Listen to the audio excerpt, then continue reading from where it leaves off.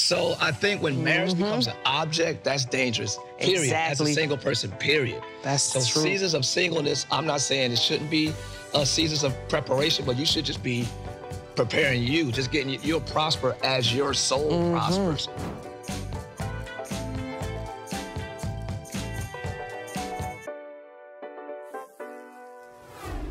What do you think? What, what questions should we be asking ourselves when you're single in terms of growing your faith or being single and all that? What what, what should be the focus? Well, the what should we be asking God?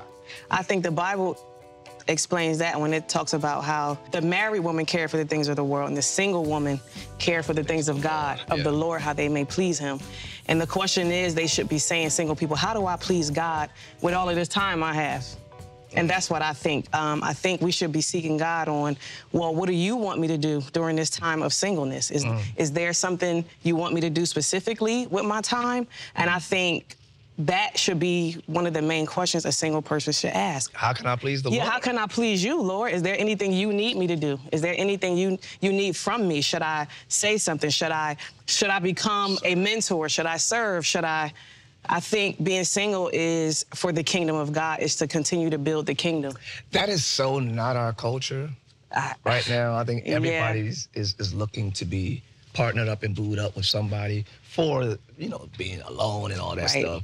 So I think they're all asking God, where's my Boaz? And not, you know, what could I do Yeah. more for you? But I, I agree with that. Yeah, because I think the married woman, she's busy. She's raising her kids. Yeah. She's helping her husband. She's, um, you know, keeping her house together. But the single woman or the single man is kind of Yeah, like, single man, build too. Yeah. Mm-hmm. Build the empire, build your life, and uh, you know, trust and keep what God has given you. Be a good steward in these seasons, steward. man. And when she comes, you'll be ready. That's right. And so I think that's the first question. What shall I be doing right now, Lord, for you? Yeah. Mm-hmm.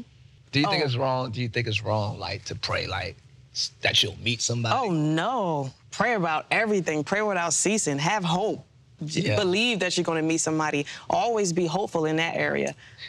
I, I I agree with that. Um, pray about everything. The Bible Mm-hmm. says, uh, w- w- pray all things with all prayer and supplication. Let your requests be made known unto God. And Mm-hmm. That's the Bible right. Mm-hmm. also says, He'll give you the desires of your heart. Y- You, know what I'm saying? That's right. Uh, what's before that, though? But it also says, Seek ye first the kingdom of God and his righteousness, and then all of these things will be added. Things, marriage, relationships. That's what I was just saying. Before that, delight yourself in Him. Delight. So enjoy being, be, enjoy belonging to the Lord. That's right. Enjoy just being His. Delight yourself in Him, and then He'll give you the, The desires of your heart. Mm-hmm. Yeah, of your heart. because I didn't plan on getting married at 18. I, I was living. You didn't plan on getting I didn't. I didn't say, "Oh, I want to get married. I want to get married." I just, you know, tried to do the best. I tried to be obedient to God. Um, if I was in, the, the older I grew, if I was in a relationship that I didn't think God wanted me in, I, I would pray that He would take feelings and things from me. And because of that, those obedient decisions that I was making, he brought you to me. But it was because I was working on myself and trying to please God at the same time, and then you came. And so I think that's that's why I'm saying it's important to seek ye first the kingdom, because I've done it and I've seen the fruit of it. I've seen how God can bless you if you totally just seek Him for the time being. so I don't think it's wrong to pray for that, but just don't make it your focus. But I did, but, but when I did um, begin a relationship with you before that, I did pray specifically what I wanted. I prayed about skin color. I prayed about All right. um, um, just personality. I prayed about almost everything I asked for, God gave me. So I, I was specific. If God didn't want me to do something, I asked Him to give me strength not to do it. But I said, but if I'm obedient, can you do this for me? And I was blessed. So Hey. you can ask. Amen. Yep. I didn't have a list of what I wanted in a woman. Mm-hmm. I don't think it's wrong to pray for that. I just think sometimes we don't know what to pray for as we ought to. Right. Because if I had made a list then, I would not have enjoyed my marriage. Got it. I was not- younger. Mm-hmm. yeah, I, we got married at I was 21, so I, I I didn't have a list of who Got you. Mm-hmm. know what what you know, and I'm and I'm glad because my list would have Yeah. would have been very religious. Got you. Mm-hmm. You know what I mean? Mm-hmm. So I- I'm glad I didn't have. I'm glad I didn't have that. I was really, really Right. into the work of the Lord. I was mm-hmm. really, really into music and serving, and I was really, really all into that. Exactly. You just came. You just came out the blue and just disrupted all that. Like skirt. I was Yeah. like, whoa, what's that? Mm-hmm. Join me in this journey. yeah, but our God is good. Even though we ask for things, He knows what, to oh, give need. us and what not to give us. Yeah. And He knows the desires of our heart, and we don't even know it. And so He gave me the, the desire of my heart. But because I was 16, 17 praying that prayer, that's what I prayed for. Wow. So you get some, you don't, you know? But overall, I got what I needed and who I needed hey, from that. So I like that. That's right. Amen.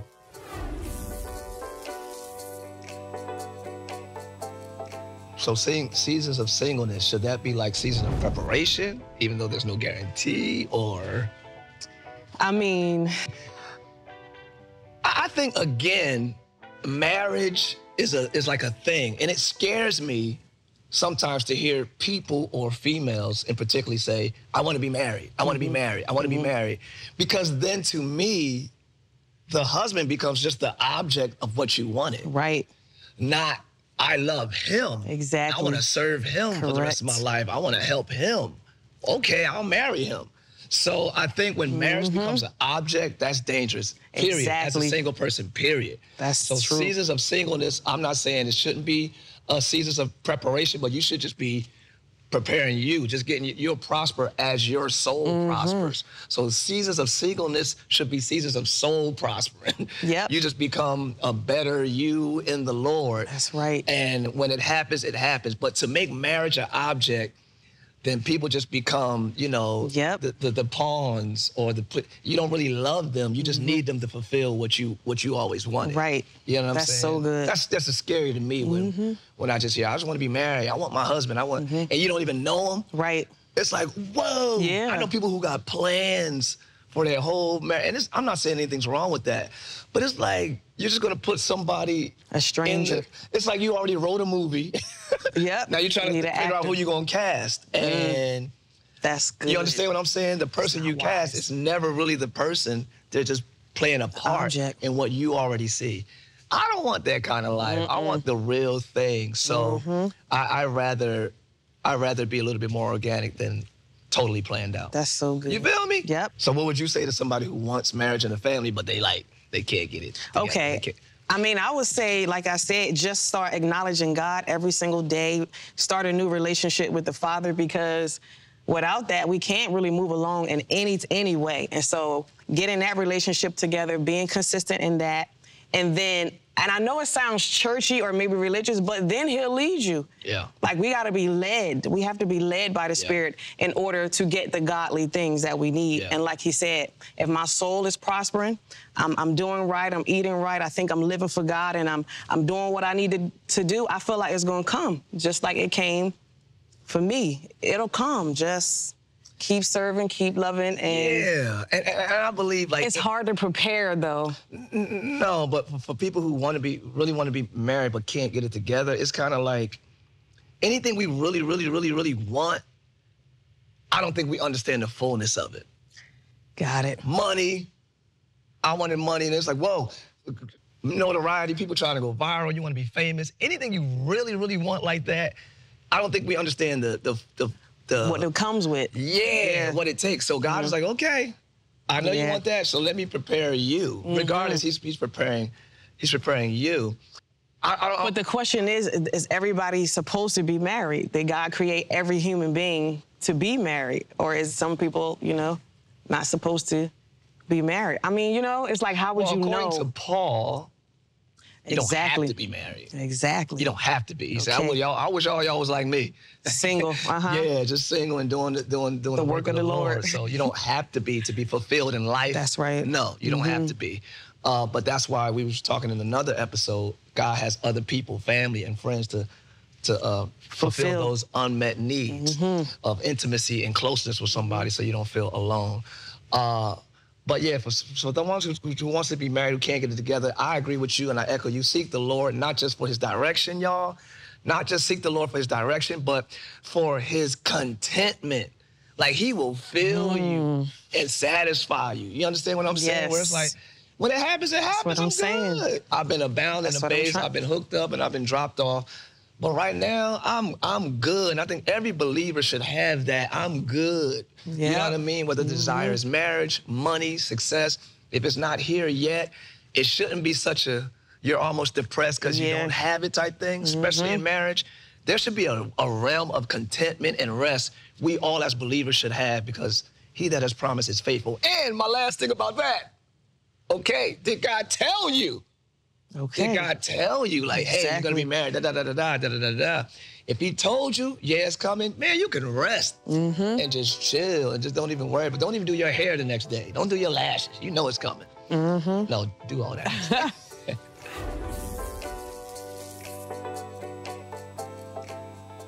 Sex-driven world, sex Mm. everywhere. How do you how, how do you talk to somebody who's trying to like refrain?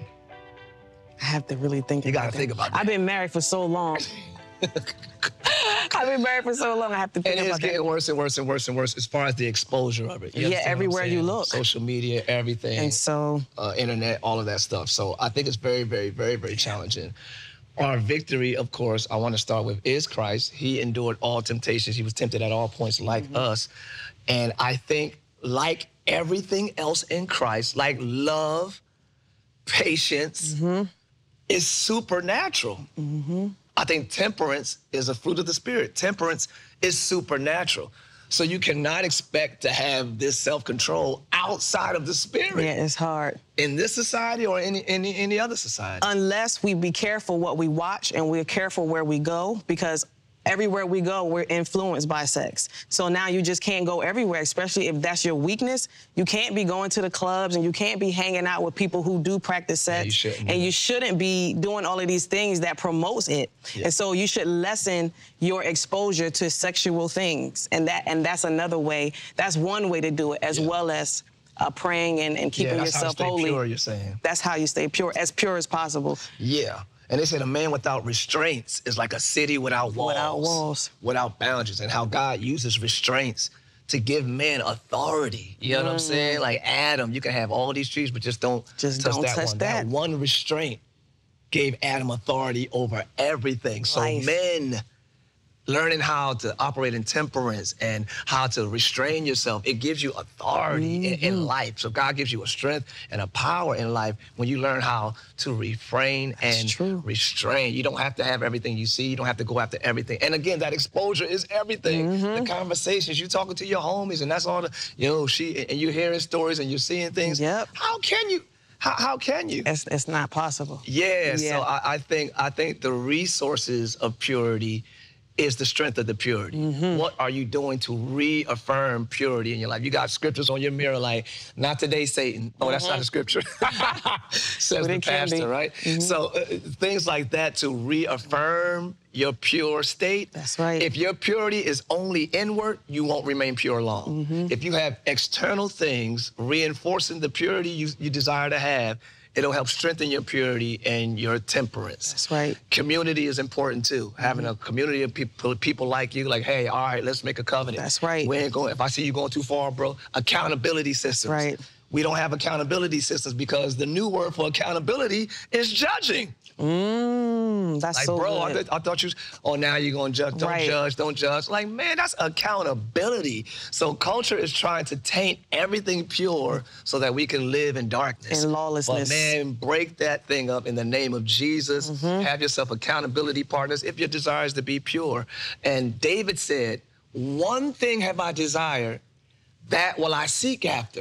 right. So if that's really your desire, you go after it. I know what you truly desire by what you go Mm-hmm. That's after. true. You can't desire purity and then watch porn. Exactly. That's not after purity. Yeah. So I think y- y- your pursuit uh, exposes your, Your- your desires. Desires, man. So go after purity. Go after it hard. That's right. In Jesus' name. The Bible said, flee youthful lust. Yes. It's something you can't stand lust. We we think we can stay there and fight it and stuff, but we gotta leave. We gotta go. So. And the thing about sex is do not kill. That's a sin. But all sins are sins indefinitely, Mm-hmm. except sex. Sex is a sin until, you're married. And then, I, you understand what I'm Yeah. saying? So it's like that's the thing that God don't want you to get rid of, rid of, rid of, rid of, rid of, rid of, rid of it. Mm-hmm. but you got to tuck it until it's in my context. That's you right. understand what I mean? In That's my, right. in my uh, holy matrimony. Do That's it right. my way. So That's right. that's the funny thing about something natural. Mm-hmm. We gotta sleep, so we sleep. We gotta eat, so we eat. That's These are right. natural. That's right. Sex is natural. How It do is. I refrain from something that's natural? Tapping into the supernatural. That's right. Letting God protect you. Protect you. Mm-hmm. Hey, what's up, guys? Listen, Shanté and I are creating an entire digital series all about love, relationships, and marriage. That's right. We want to hear from you. Please drop any questions that you have in our comments below, mm-hmm. and we'll answer as many as we can in our final video of the series. Now, listen, y'all, no questions are off limits. So don't hold back. Don't. Now, let's get back to the video.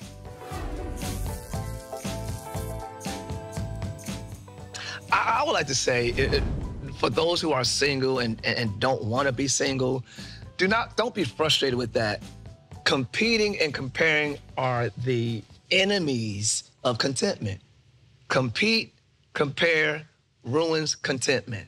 The more you see the Kardashians, I love them. The more you see your friends or your cousins getting married and you always the bridesmaid, never the bride, the more you compare and compete, is the more you kill your contentment. And God is like, yeah, am I not good enough? Am I not more than 10,000 sons? Mm-hmm. Somebody said in the mm-hmm. Bible. So do not compare and do not continue to compete. That's one of the two of the things that'll make you frustrated yeah. being single. Yeah. Well, she got married and she got, yeah. I was better than her. And I'm just, you're just competing and comparing, and that just fans the flame of discontentment in your life when That's God right. is trying to do something in you. Mm-hmm. You know what I'm saying? Be- before your next season, He knows the thoughts that He has for your life. He knows the That's plans that He has for our life. Your plan is to be married today. Mm-hmm. His is probably next year. That's right. So since He knows what's best, lock into Him. Get that fulfillment of contentment. I'm telling y'all that helped me because I compete and co- compare a lot naturally. I lean to that. I got to I gotta kill that in me because you're in the music industry. You gotta be number one on the charts and stuff. Mm-hmm. So not in. I know I'm taking a long time. Go ahead. No, it's okay. Say that thing is a temptation to me. Com- compete and compare. It I is. content, content, content. That's right. So and once I learned that, and the things that I, I, I, you know, I would compete and compare comes to me. It's like, oh, that's cool. I appreciate right. that, but it's not life to me. So be careful what you watch. Protect your eye gates and your ear gates, mm-hmm. um, because what you what goes through your eyes, it, it, goes through your body and it goes to your heart. And out of the abundance of the heart, the mouth speaks. And out of what you see, you do. And so you got to be become what you behold. You become like what you behold. Mm-hmm. Yeah, yeah, yeah. And it's nature. Um, we be, we're habit forming creatures, and whatever we see, we become. And so we just got to be careful with our eye gates and our ear gates and just protect it so that we can protect our life and our hearts and everything around us. I love so, that. Yep. Boom. Hey, everybody, I'm Tye Tribbett. And I'm Shanté Tribbett. And thank you so much for watching the Praise on TBN and YouTube channel. Yes, listen, Shanté and I have created an entire digital series for you all about love, relationship, and marriage. So join us back here next week to see Tye and I discuss marriage, intimacy with the Lord, and how the enemy tries to destroy relationships. Ooh, don't miss it, and don't forget to subscribe and click the notification bell so you never miss an upload. God bless you.